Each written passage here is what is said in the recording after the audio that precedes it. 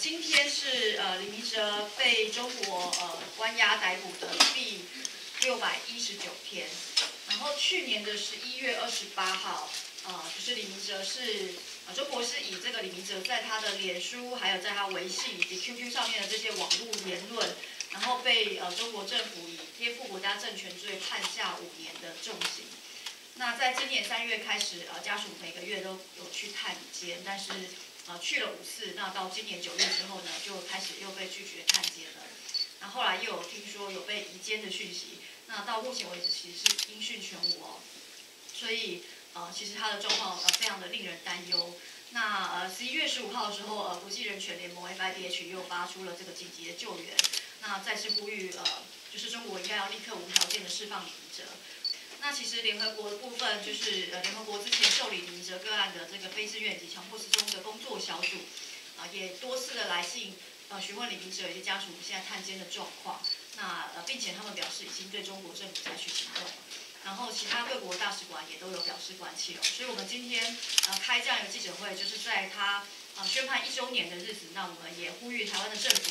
呃应该要积极的采取措施，然后向国际社会发出呃呼吁。来确保李明哲的呃人身安全以及他的身心的健全。呃，李明哲先生是中国实行的境外非政府组织管理法后第一位被关进中国监狱的境外非政府组织的员工。那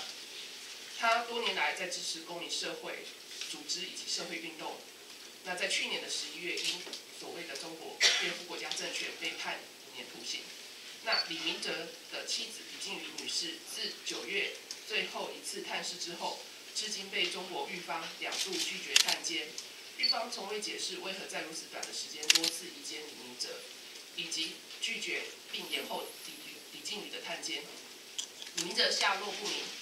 他的健康状况跟在监狱所受到的待遇待遇也都令人非常忧心，而这一切也都违反了国际囚犯待遇的标准，所以国际特色组织，全球的国际特色组织。再度于十一月二十一号于台湾时间的晚上启动了全球紧急救援，强烈谴责中国对良心犯的迫害。国际特色组织要求中国政府：第一，立刻无条件释放李明哲，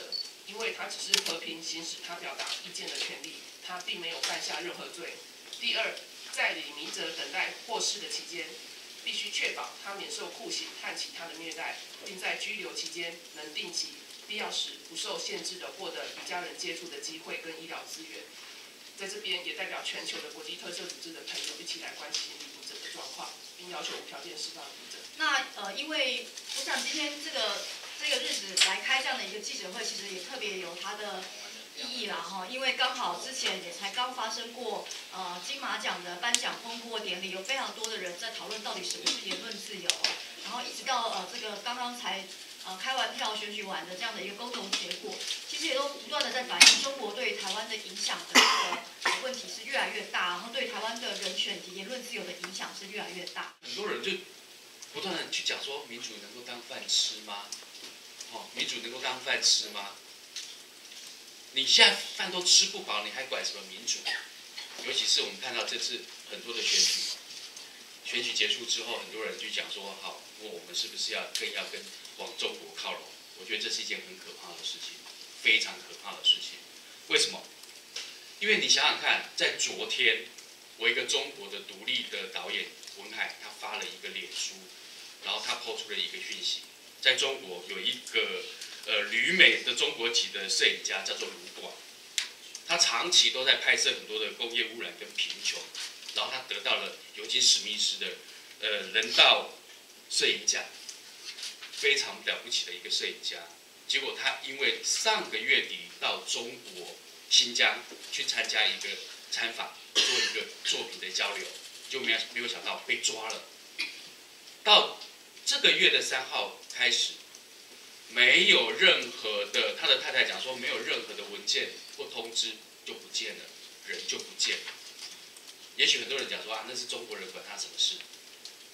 其实。长期以来，不要讲说是我们看到这个卢广这个设计家，即便是我们台湾的李明哲，还是很多人都不知道。所以我我看到这件事情，我就想说，如果将来我们真的跟他变成一国了，变跟中国变成一国了，你觉得今天还会你们各位都还会站在这边去声援吕明哲吗？可能就跟卢广一样，全部都不见了，没有人会去声援了。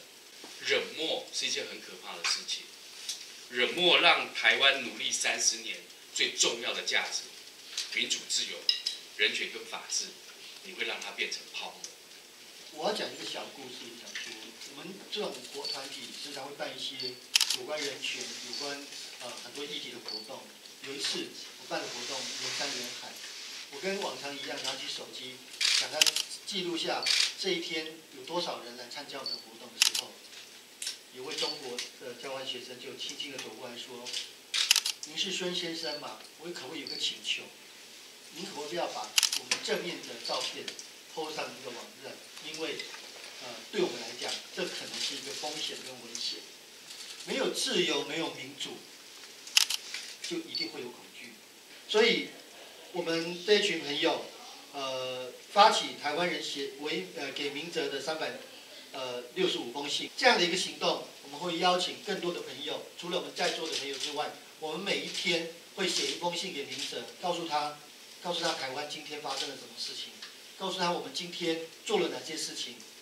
其实跟过去他在台湾做的事情是一样。接下来，呃，台北市也即将在下个月立刻就要举办这个所谓的双城论坛。那我想，我们在这边也要呼吁，呃，柯文哲市长。借由这样的一个可以跟中国的高层的官方代表呃见面的一个机会，也应该要去为啊台湾的公民以及人权工作者李明哲先生说话，并且针对呃他的被任意移监，还有这个家属的探监的权利一再的被被拒绝，要表示抗议。那。作为一个台北的呃台湾的这个首都的市长啊，应该要去啊跟中国进行一个这样的一个正面的沟通对话。我想，特别是在啊台湾的政府，因为包括陆委会等官方单位，根本都没有任何的机会可以去跟啊中国的官方有任何的一个实质的对谈的机会的时候。我希望未来呃这个台湾政府，其实我们在立法院的时候也有持续的要求。呃，陆委会还有其其实包括呃外交部还有各个中央政府的相关部门，在跟中国进行任何的交流或是对谈的时候，呃，乃至于在国际的场合的时候，应该都要把这个人权、人权的议题以及释放遭关押的台湾人民，乃至于跟其他受到关押的其他国家的人民，应该要被释放或是被关切的这个讯息，应该要不断的提出。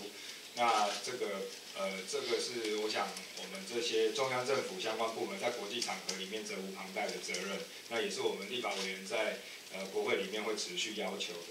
那另外一方面，我想关于台湾自己的部分哦，呃，有一些有越来越多的，我相信很多的维权人士或是呃这些藏人朋友，他们在呃。流亡海外，在颠沛流离的时候，台湾是他们一个一个呃可以盼望、可以期待的一个地方。那像这个之前的黄燕女士，她来到台湾，呃，当然这个外交部等等相关移民署相关单位协助她留在台湾，呃，这个值得肯定。那难民法实际的来去制定。呃，可以清楚厘定相关事务的作业程序、收容机制，那有相关的规范，那让这些受迫害的人可以得到比较完整的这一个庇护，尤其也不会因为有一天如果换了政府，我们就不保护这些人。呃，我想制定一个有人权观念的这个难民法，以及定定出一个这样子的机制，让台湾的人权保障是一个不管是。在任何的时期，都能够成为国际上面受到压迫的人民，他们可以期待一个希望的所在。